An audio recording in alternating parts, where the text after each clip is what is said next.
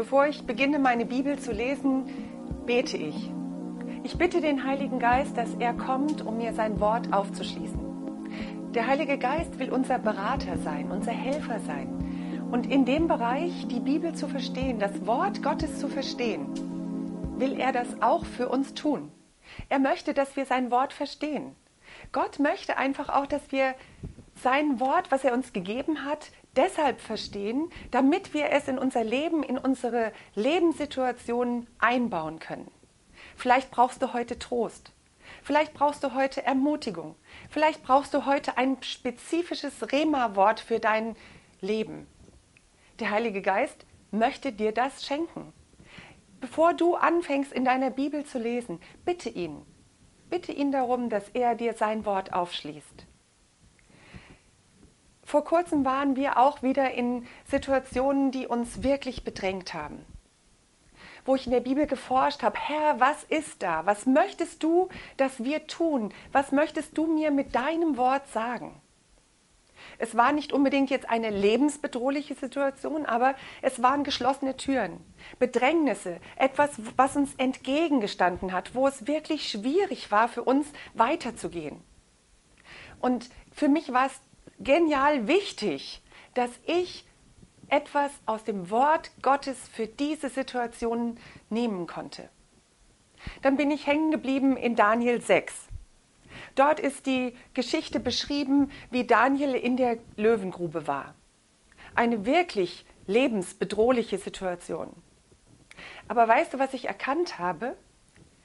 Daniel wusste, wer Gott ist. Daniel kannte seinen Gott. Daniel vertraute seinem Gott. Er wusste nicht, wie die Situation ausgeht, das nicht. Aber in seinem Herzen war ein großes Vertrauen in die Möglichkeiten, in die übernatürlichen Möglichkeiten Gottes. Du kannst es lesen, da steht, dass Gott Daniel die Tür öffnete, der Rachen der Löwen wurde verschlossen und Daniel kam aus dieser Situation heraus. Und das Zeugnis lesen wir, er, Gott, der rettet und befreit und Zeichen und Wunder im Himmel und auf der Erde tut. Er hat Daniel aus der Gewalt der Löwen gerettet. Siehst du, der Feind will immer stehlen, rauben, morden. Das ist immer seine Absicht. Aber Gott möchte dir neues Leben schaffen. Gott möchte dir aus diesen Situationen, die dein Leben bedrohen oder die dich vielleicht beängstigen, die dir entgegenstehen, wo es nicht weiterzugehen scheint, da möchte Gott dir einfach Hilfe geben. Er möchte die Dinge verändern. Er möchte die Türen wirklich öffnen, dass du rausgehst. Etwas später im Text heißt es dann, dass Daniel zu großem Ansehen kam.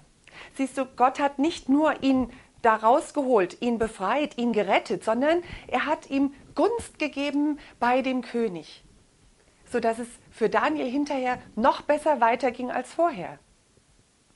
Ich möchte dich sehr ermutigen, deine Bibel so zu lesen, dass du fragst, Herr, was ist für mich dran? Was sagst du zu mir? Dass du einen Schritt rausgehen kannst aus dieser Situation, in der du bist? Und dass du reingehen kannst in etwas Neues, was Gott für dich hat.